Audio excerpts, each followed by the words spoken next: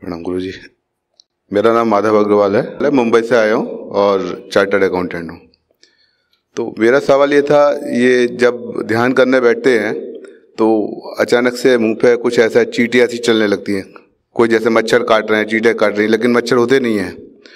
दूसरा आ, किसी भी समय ध्यान में हो या ना हो तो एक बैक बैकएंड में एक ध्वनि से सुनाई चलती थी नाच चलता रहता है जैसे झिंगुर बहुत सारे झिंगुर एक साथ में बोल रहे हो तो ये क्या चीज़ है? इस मार्ग को यानी आध्यात्मिक मार्ग को कब से अपनाए हुए हैं? हमने बचपन में दीक्षा ली हुई है अपने गुरुजी से। और बचपन से ही हम ध्यान वगैरह करते करते हुए चले आ रहे हैं। ध्यान करते हैं। ध्यान किसी के मार्गदर्शन में करते हैं? किसी ने बताया आपको मार्गदर्शन किया? मार्गदर्शन गुरुजी अ, गुरु माँ थी हमारी वो अभी नहीं रही अभी उनका शरीर शांत हो गया लेकिन बचपन में ही दीक्षा ली थी हमने उनसे।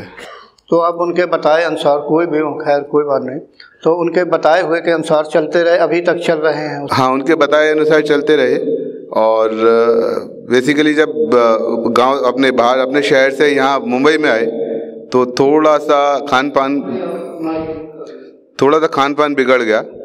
जैसे हम शुद्ध सात्विक भोजन करते हैं लेकिन यहाँ करके कुछ समय के लिए नॉन वेज ड्रिंक करना स्मोकिंग वो सारी चीज़ चालू हो गई थी। बट अभी वो सब नहीं है काफ़ी। कितने साल तक ये सब किया? ज़्यादा ती पाँच छः या छः साल। Ninety five ninety five ninety उस समय। 95 में करते थे? नाइन्टी फाइव नाइन्टी फाइव वगैरह। अब फिर तो अगर तीन चार साल या छः साल लगा दें 95 से नहीं 2000 तक। फिर 18 साल से आप नहीं कर रहे हैं। कुछ नहीं कुछ बिल्कुल नहीं। सही बात। बिल्कुल। कुछ भी बीड़ी सिगरेट गुटखा। सिगरेट कभी कभी पीते थे लेकिन वो भी अभी मैंने नहीं नहीं मैं अठारह साल की बात कर रहा हूँ। हाँ अठारह साल में कभी कभी थी लेकिन अभी बीस साल से अब अभी अभी नहीं है। एक साल से पूरा सिगरेट वगैरह कुछ भी नहीं है। जो इस चीटियाँ से काटते हैं हो सकता है प्राणायाम आप करते हैं। प्राणायाम थोड़ा बहुत करता हूँ। थोड़ा बहुत कितना? दस मिनट पाँच मिनट। कौन सा प्राणायाम करते हैं? प्राणायाम ऐसा सोच के नहीं करता। कभी भी जैसे मॉर्निंग वॉक के लिए जा रहे हैं वहाँ बैठे हैं तो कुंभक अपना अनुलोम विलोम है या भस्का है या कपाल भारती है वो करते हैं। प्राणायाम किसी से सीखा है आपने कि ऐसे ही प्राणायाम के लिए अपना ये एक योग गुरु थे। उनके अंडर में एक महीने दो महीने सीखा था। फिर अभी उसके बाद अपने आप ही करता हूँ।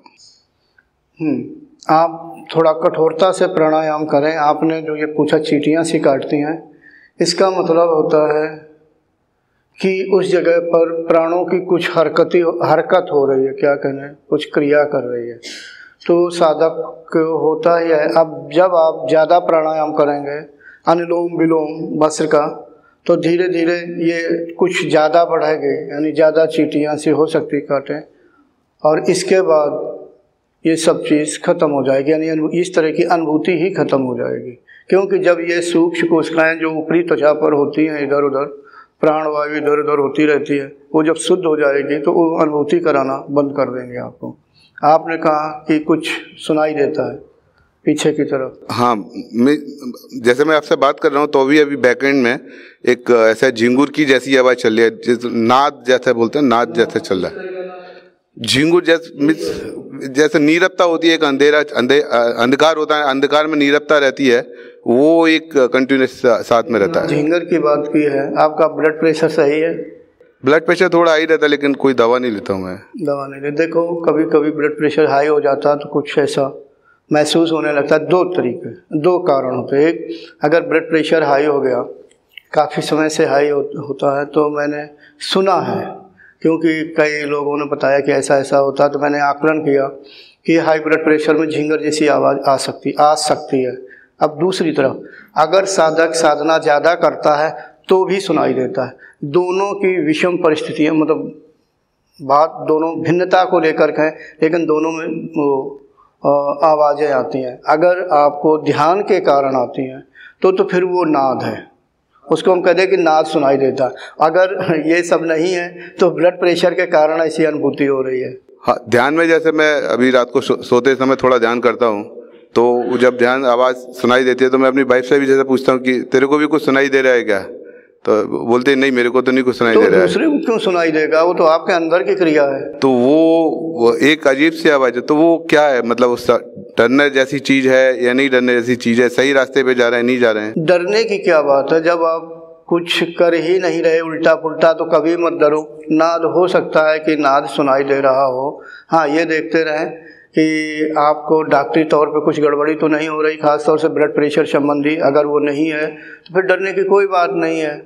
आप प्राणायाम करें धीरे धीरे हो जाएगा। अगर आप मतलब एक दूसरा पहलू, ज़्यादा ध्यान करेंगे तो झींगर की जगह और भी कुछ सुनाई दे सकता है। आप मेरी अगर दूसरी किताब पढ़ें, योग कैसे करें, उस समय मैं अपने आश्रम, यानी गुरु माता के आश्रम में था तो वहाँ जब ध्यान करता था तो उसके विषय मैंने दूसरी किताब में लिखा है कि मुझे बहुत कुछ सुनाई देता था। यहाँ तक सुनाई देता था कि अगर मैं सो रहा हूँ तो साढ़े तीन बजे मैं जाग भी जाता था साढ़े तीन बजे जागता था और तीन बजे मैं जाग हूँ और ध्यान करने लगता था। तो नाद सुनाई देता। ये एक नियम वो बंद नहीं हो सकता। है एक आखिरी सवाल आप एक प्रश्न एक करना चाहिए। आप एक आखिरी सवाल आपने बोला था ग्यारह बजे के बाद ध्यान नहीं करना चाहिए। हाँ जी। लेकिन मैं बचपन से ग्यारह बजे के बाद ही बारह बजे के बाद ही ध्यान पे बैठता आया हूँ। क्योंकि उसी समय ऐसा समय होता है जो अपने आप आँख खुलती है और ध्यान लग जाता है। उसमें लगाना नहीं पड़ता, अपने आप लग जाता है। तो करूँ या बंद कर दूँ? देखो, आप कह रहे हैं कि हम बचपन से कर रहे हैं तो आपकी मर्ज़ी है। आपका जो मार, आपके जो मार्गदर्शक थे, जो जो भी उन्होंने बताया हो, आप उनके अनुसार चलिए। वैसे मैं अपने साधकों को ग्यारह बजे के बाद ध्यान की अनुमति नहीं देता हूँ। या साधक की अवस्था ज़्यादा ऊपर हो, फिर कोई बात नहीं है। जैसे ब्रह्मरंध्र खुला है, उसे किसी प्रकार को डरने की ज़रूरत नहीं है। कंठ चक्र भी खुल गया है तो मैं कहता हूँ, सतर्क बैठो। अगर कंठ चक्र नहीं खुला है तो मैं कहता हूँ, बचो। लेकिन मतलब 11 बजे के बाद ना हो। अगर साधक 10 बजे ध्यान पे बैठा, थोड़ी देर ज़्यादा ध्यान लगता है, साढ़े ग्यारह हो गया, बारह हो गया, फिर कोई बात नहीं। फिर भी उस समय को ना लांघे। मतलब उधर प्रवेश ना करे तो ठीक है।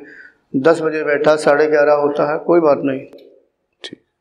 प्रणाम गुरु जी प्रणाम Thanks for watching. Remember to like, comment and subscribe.